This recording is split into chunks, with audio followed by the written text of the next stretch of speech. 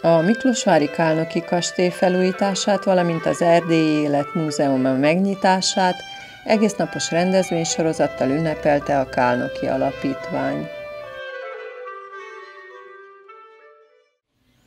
2017. április 22-én ünnepélyes keretek között megnyitotta kapuit a Miklósvári Kálnoki kastély a nagy közönség előtt.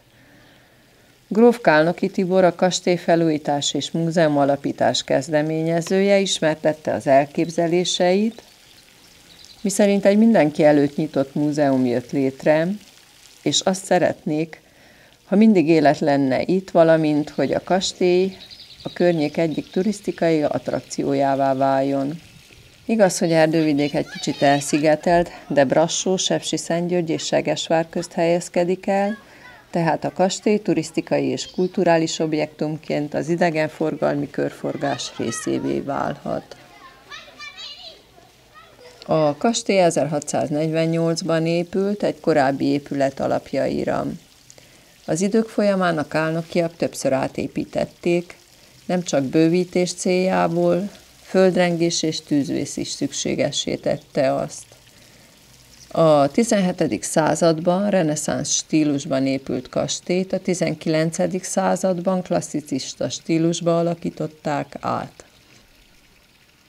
Az épület a késő reneszánsz külső díszítésével egyedi a székelyföldi kastélyok között.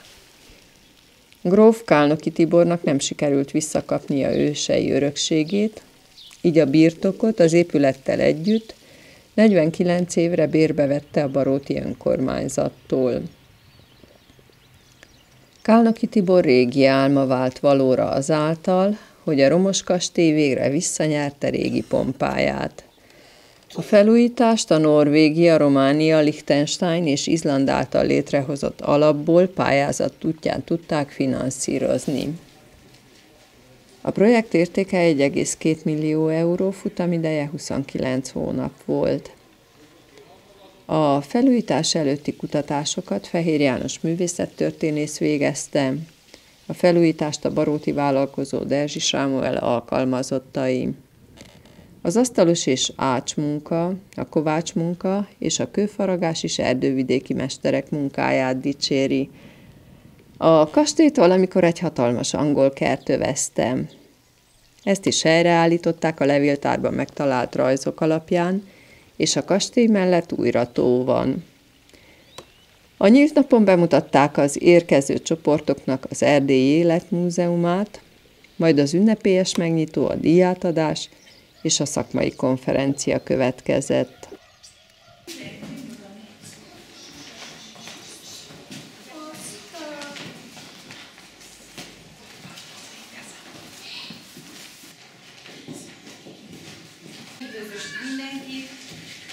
Uh, család ősrégi kastélyában és a jelenlegi Erdélyi Életmúzeumában.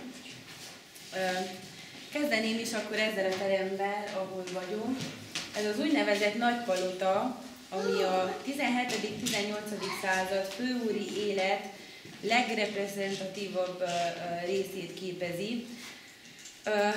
Itt voltak a táncestek, itt voltak a különböző előadások, ebédek, vacsorák, és uh, uh, ugyanazt a korszakot, ugyanazt az időt próbáljuk visszaadni egy kicsit. Hogyha körbenézzünk, akkor uh, többféle szép tárgy is uh, tárul elénk. Egy érdekesebbik, ez a Kálnoki Sámuel 17. századi festmény másolata, illetve az előtte való, való, ami ugyanúgy 17. századi rekonstrukció. Rögtön mellette van a konyhai kredenc, ami ugyanúgy 17.-18. században sorolható be, és érdekes ezzel kapcsolatosan, hogy a Körösi Kánoki kastélyból származik, és Gróf Kánoki Tibor egy családnál találta meg a felső részét, lehet látni ott azt az érdekes kis felső rész, ott egy kisgyerek aludt. Tehát ez mint ágy funkcionált egy, egy köröspataki háznál, és úgy szerezte vissza a Kálnoki gróf úr. Ha egy kicsit megyünk tovább, akkor megtekinthetjük a 17. századi kájha rekonstrukciót, ami habán kőművesek készítettek. A, fal, a falakon perzsa szőnyeg kiállítás található, török, arab és különböző szőnyegek fajtái. Ez a 18. századi erdélyi szekrényben még nincs teljesen befejezve, viszont ónedényeket lehet megtekinteni. Akkor mehetünk hát a másik sorában.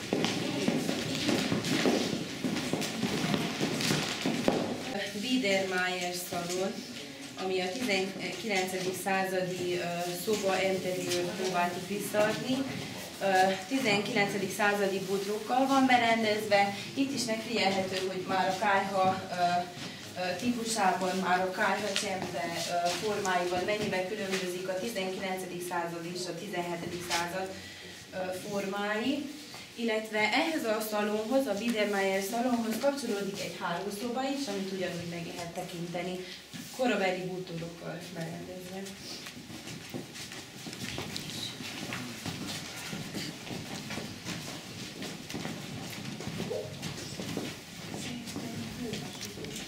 Ez a késő reneszánsz és korai barokk asszony élet mindennapjait próbáltuk reprezentálni ebben a szobában. Itt is megfigyelhető a kájha típus, hogy ugyanúgy a Biedermeierhez képest nagyon érdekes kis figurák vannak.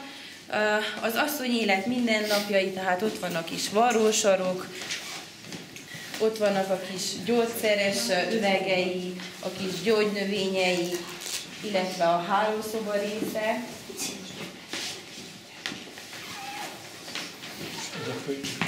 Uh, igen, még érdekes ez a könyv, ez a könyv, ez egy latin könyv. Ha jól emlékszem, akkor a 17. század első felében írták, és mellette az egy gyertyatartó üvegből, ami, amit uh, Zalánpatakról, ami valószínűleg Zalánpatakról származik, viszont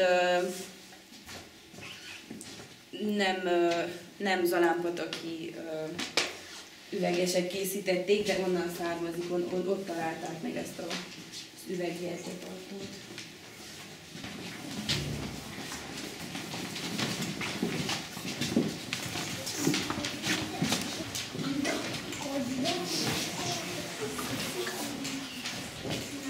Akkor megérkeztünk az úrházába, ahol a 19.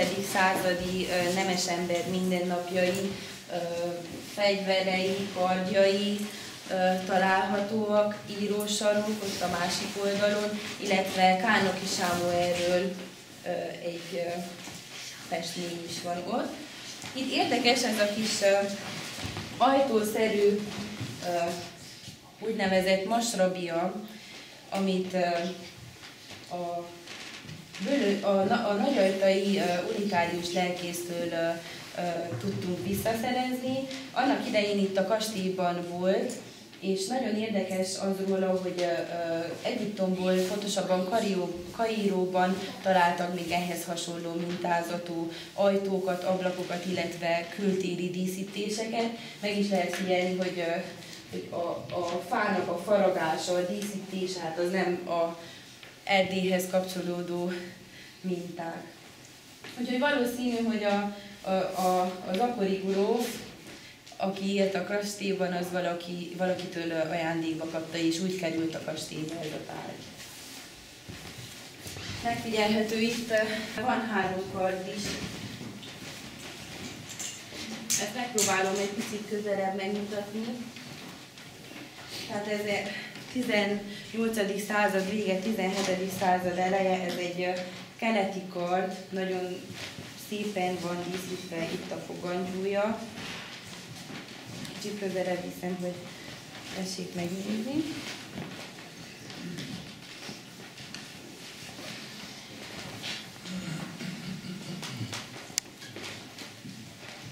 illetve ez egy tűzési fal.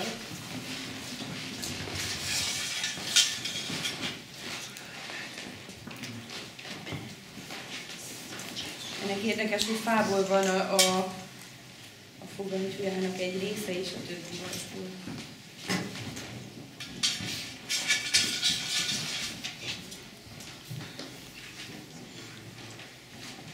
És ugyanúgy és hívjuk.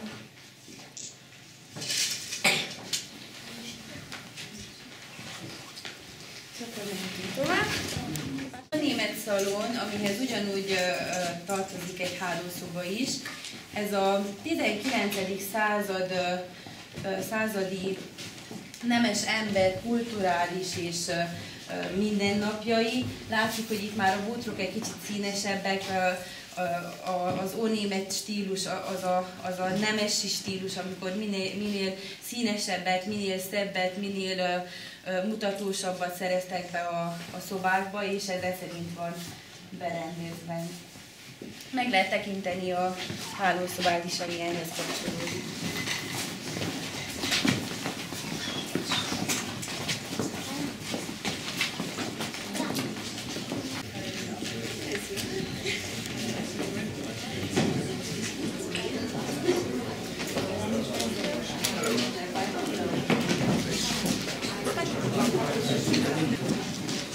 Ladies and gentlemen,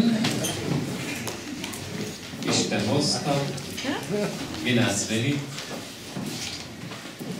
Um, of the three languages, uh, I, I don't really know which one to use now. Um, vom fi trilingue astăzi. Uh, astăzi este inaugurarea Muzeului Vieții Transilvaniene. Uh, Avem musafiri la noi, avem colegii uh, care au participat uh, la desfășurarea acestui proiect de mare amploare, reprezentanții de la Ministerul Culturii, uh, de la Unitatea de Manage- Management a proiectului al uh, Ministerului Culturii și Naționalitate- Identitate Naționale, de la Ambasada Norvegiei, partenerii noștri din Norvégia, és mind azok, akik segítettek nekünk, hogy ez a projekt itt Miklósvárban megvalósuljon. Urmează să punem în valoare această clădire. Nu numai cu muzeu, dar și cu activități culturale. Începem cu conferința astăzi, o conferință de specialitate, cu teme de restaurare și culturală. Și vreau să-mi permiteți să uh, preiau de la domnul Conte și să fac eu o introducere, pentru că alături de noi se află domnul Peter Domocoș, din partea Fundației uh, Domocoș Gheza, uh, care are reprezentat un premiu pentru Fundația Canul. Domnul Domocoș?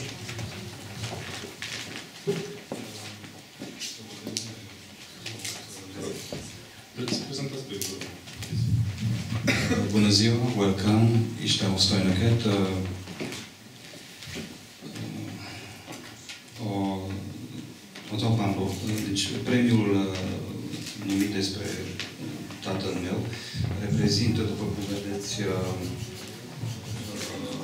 atât uh, o pană de scris, cât și o pasăre. A, az apámról elnevezett díj egyaránt ö, ábrázol egy ö, írótollat és egy madarat. Mm, Nagyon megtisztel, este, ö, ne face onoare și plăcere să mânăm uh, pe bună dreptate, în mod meritat, uh, această distinție a domnului Conte. Uh, Eu am avut ocazia să urmăresc uh, întreaga fază a lucrărilor uh, care au avut loc. Dânsul a postat pe Facebook uh, imagini uh, fost a periodic imagini. Nagy megtiszteltetés a, a számomra, tehát mint Domokos Géza fia, nagyobbik fia, hogy átadhatjuk elismerésként a, a, a helyreállítási munkálatok során elért minőséget és hangulatot. Și mulțumesc domnului Conte pentru ce a făcut pentru comunitate. Tehát köszönöm a Grófónak azt, amit tett a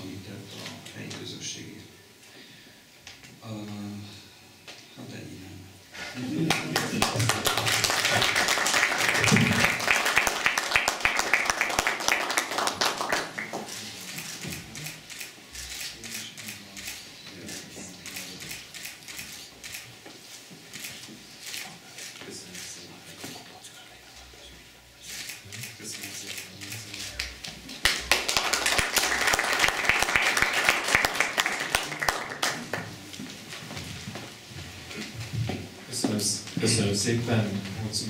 Thank you very much. Um, I would now like to uh, hand um, the floor to the moderator of the conference, which is going to start now. Um, this is uh, Imola Magyoroshi, who will moderate the first panel of our conference. Szeretettel köszöntök mindenkit a, Alapítvány a projektjének záró konferenciáján. Az elmúlt napokban volt a Műemlékes Világnap, a Műemlékek Világnapja, és ennek témája az idén a műemlékek és a, a fenntartható eredményes turizmus. Mi a Kárnoki Alapítványtól reméljük, hogy ez a helyreállított, az itt helyreállított kastély és környezete, ez az együttes ezúton is egy jó iskola példája lesz ennek. Și acum rog pe domnul uh, Lazar Kisbarna, primarul orașului Bărault, să susțină prezentarea. Tehát Halut városának polgármesterét Lázár Kisbarnát hívom.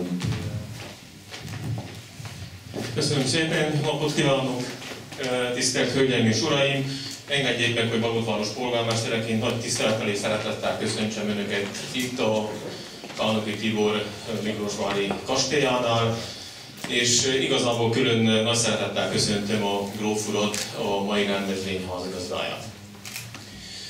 Amikor beszélgettünk, akkor arra kértek fel, hogy mondja már, hogy mit jelent Balótvárosnak a Miklósvári kastély itt az erdővidéki turizmus szerepében. Én akkor úgy gondoltam, hogy igazából ezt a, a kastélynak a turisztikai szempontjából tulajdonképpen két fő dologra lehet osztani, mit jelent a városnak és mit jelent erdővidéknek. Ha azt veszem, hogy mit jelent valót városnak, akkor azt kell mondjam, hogy én úgy gondolom, hogy ez a kastély most így néz ki, ez annak köszönhető, hogy egy, így mondom, egy magánkézbe került, talán visszakerült a tulajdonosához, aki akit a szíve ide húz, és igazából tudta, hogy mit akar elkészíteni, és mit akar visszaállítani ebben az épületben. Amint látjuk, a gróf úr oda tette szerintem szívét, lelkét és minden tudását, és minden lobbit, hogy ez, ez, össz, ez összejessen ez a, ez a kastély a mostani állapotban. Hisz amikor felhívott telefonon, hogy nagyon gyorsan egy pályázatot kell írni, és nagyon gyorsan tanácshatározatot kell hozni, akkor a város pozitívan állt hozzá a dologhoz, és mi is örvendünk, és örvendünk, hogy kimozdul a kastély abból a romos állapotból, amely az elmúlt évtizedek során volt. Tudtuk azt is, hogy hogyha felújítódik ez a kastély, akkor ez bizonyára nem egy, egy olyan célnak fog megfelelni, ami, ami eddig volt, hogy esküvőt rendeztek, keresztelőt rendeztek, hanem igazából egy turisztikai látványosság fog lenni. És amit látjuk, hogy mondták az elmúlt, elmúlt 29 hónapban, az is lett. Visszanyerte azt az állapotát, azt a azt az eredetiességet, ami az elmúlt évtizedeken, évszázadokon keresztül volt. Mi örvendünk mindenképpen neki, hiszen, mint tudják a jelkében, aki nem tudja, az, az tudja, hogy ez a kastély a Bargoti város tulajdonában van, de, mint mondtam, én örvendek, hogy ez egy magánkézben van, és egy olyan kézben, aki szeretettel és a teljes odadással rendbe tartja és használja ezt az épületet. Ha viszont veszem, hogy Erdővidéknek mit jelent ez a kastély, akkor el kell mondjam, hogy az ritka az a háj, ahol ha végignézzük, akkor egy ilyen 15 kilométeres körzetben 3-4, az akkor négy olyan kastély, négy olyan, olyan grófi rezidencia van, amely nem mindenütt megtalálható egy ilyen, egy ilyen körzetben. El is indult, ugye, amint tudjuk, orosz teleken a Daniel Kastélynak a felújítása, amit láttuk az előbbi bemutatásból, nagy sikere van, és reméljük, hogy az elkövetkezőkben ugyanígy nagy sikere lesz Miklósváron a Kalnoki kastélynak is, itt, itt nem csak szállás lehetőség van Miklósváron, hanem tulajdonképpen az a kastély egy múzeum is egyben, és konferenciaterem is, úgyhogy reméljük, hogy az elkövetkező évek hosszú során Barót és Erdővidék bekapcsolódik abban a turizmusban, már mondom, mint mondtam, célirányos, céltudatos turisztikai látványosokkal rendelkezik. Úgyhogy mi köszönjük minden, mindenképpen a Gróf hogy ezt a, ezt a munkát elvégezte. Reméljük, hogy az elkövetkezőkben is nagyon sokat fogunk együtt dolgozni, és minden olyan megkeresésre, amelyet a Gróf szán a város felé, ott mi pozitívan fogunk viszonyulni. Hisz tudjuk, hogy együtt lehet mindenképpen ilyen nagyobb valósításokat véghez vinni, és amint mondtam, a Bagotvárosa mindenképpen partner ebben a kapcsolatban, hisz ez nekünk ez a, ez a kastély pont olyan értékes, mint a Grófurda. Úgyhogy én továbbiakban is kívánok jó munkát, és ahol segíthetünk, hogy nyugodtan forduljanak a város felé, hisz mi partnereket segítségek. Köszönöm szépen!